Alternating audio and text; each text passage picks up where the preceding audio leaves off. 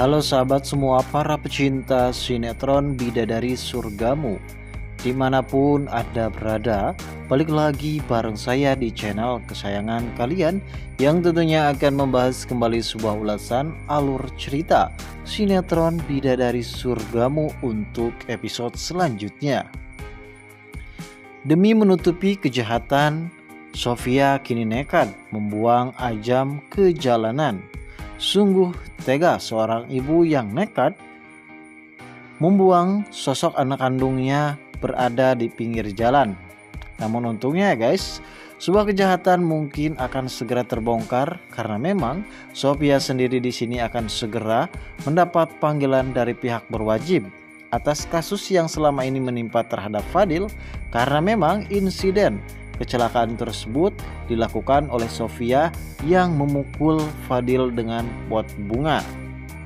Karena memang kejadian tersebut terlihat oleh Ajam dan kemungkinan besar Ajam pun di sini akan berkata sejujurnya terhadap Denis begitu juga dengan pihak berwajib karena memang pihak polisi sendiri sempat memintai keterangan dari Ajam yaitu anak dari Sofia dan di sinilah Sofia pun merasa kalau dirinya terancam sehingga ia pun sangatlah begitu nekat membuang Ajam di jalanan.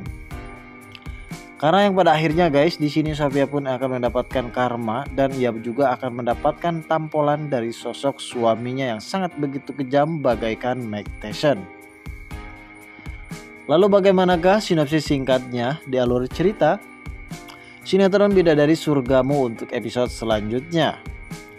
Namun sebelum melanjut juga guys ke pembahasan dan ke alur videonya, bagi kalian yang baru saja bergabung dan menemukan channel ini, alangkah baiknya bantu channel ini dengan cara tekan tombol like, komen, dan subscribe. Dan hidupkan juga tombol lonceng notifikasinya ya guys, agar kalian tak ketinggalan info-info menarik dan terupdate seputar sinetron. Bidadari Surgamu Dan namun sebelumnya juga mari kita mendoakan kepada seluruh kru dan pemain agar sehat selalu serta doakan bidadari surgamu ke depannya semakin menarik lagi ya guys agar supaya bisa bersaing di rating yang paling teratas.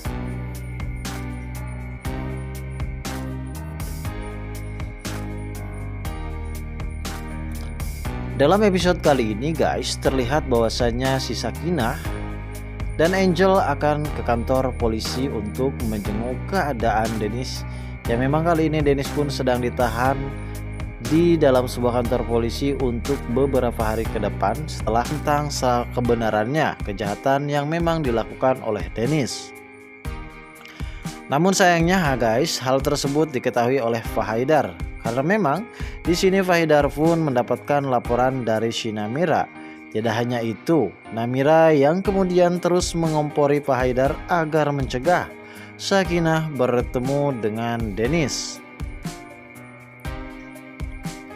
Dikarenakan situasi saat ini semakin memanas, akhirnya Pak Haidar secepatnya pergi dan melarang Sakinah menemui Dennis.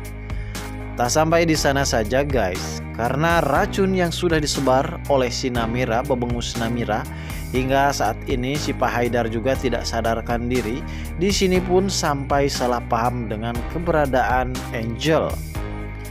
Pak Haidar yang tak tahu apa-apa tentang Angel kemudian ia pun mengingatkan agar Angel tidak memanfaatkan untuk bisa mendekatkan lagi Dennis dengan Sakinah. Sehingga di sini terlihat juga Fahidar meminta Sakinah untuk pulang ke rumahnya namun karena ini Sakinah sedikit memaksa. Sakinah memohon kepada Fahaidar agar supaya mengizinkannya membuat dirinya pun bisa bertemu ataupun menjenguk Dennis di dalam sebuah tahanan. Untuk di episode selanjutnya seperti kita ketahui juga ya guys bahwasanya demi menyelamatkan diri dari jerat hukum Sofia pun sangatlah begitu nekat sampai-sampai ia pun tega membuang sosok Ajam alias anaknya tersebut. Karena di sini Ajam sangat meresahkan, Sofia si Ajam pun bersikeras ingin memberitahu Sakinah melalui surat yang ditulisnya. Hingga Sofia nekat membuang Ajam ke jalanan. Di sini Ajam juga ternyata ditemukan dua orang penculik yang memang kemudian akan meminta tebusan kepada keluarga dari Azam. Ajam yang sangat begitu cerdik dan bisa mengetahui maksud dua orang penculik tersebut. Kemudian Ajam pun memberitahu para penculik jika dia cucu Pak Mario orang kaya dan berduit. Si Ajam yang cerdik memiliki rencana akan temui keluarga Pak Mario agar dirinya bisa katakan yang sesungguhnya dengan harapan bisa menolong Dennis. Sementara di rumah Fahidar nampak gempar karena memang Ajam pun hilang. Salim yang mencurigai Sofia di balik hilangnya Ajam terus mendesak Sofia agar berkata jujur guys. Sofia diinterogasi agar memberitahukan di mana sembunyian Ajam. Namun di sini lagi-lagi saling diperdayakan oleh Sofia. Sofia pun berhasil mengoceh dan memperbudak keluarga dari Fahidar dengan berpura-pura menangis histeris. Sementara si Namira dan si Fodo terus mengusung rencana agar Fahaidar segera membereskan perceraian Sakinah dan Dennis. Sinamira juga terus berpikir keras guys bagaimana caranya agar dirinya bisa terhindar dari malam pertamanya bersama Andre. Untuk di episode selanjutnya nampaknya Andre mulai kesal dengan tingkah kelakuan dan sifat Sinamira. Andre di sini juga mulai tegas kepada Sinamira hingga Namira terlihat kebingungan yang pada akhirnya bagaimana cara dirinya membuat Andre tetap jinak di hadapannya. Untuk episode selanjutnya juga akhirnya Dennis pun bebas dari tuntutan Fadil. Namun di sini Fahidar tetap pada pendiriannya untuk bisa memisahkan Sakinah dan Dennis karena memang selama ini otak dari Fahidar pun telah dicuci oleh anak tirinya yaitu Namira. Di sini Dennis tak mau menyerah begitu saja guys. Dennis pun selalu berjuang kemudian pergi ke rumah Fahaidar.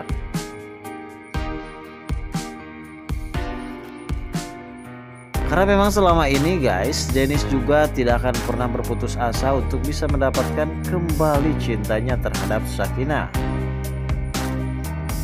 Dennis akan kembali meminta maaf kepada Fahidar dan berjanji akan bersungguh-sungguh menyayangi Sangina dan tidak akan pernah menyia-nyiakannya lagi.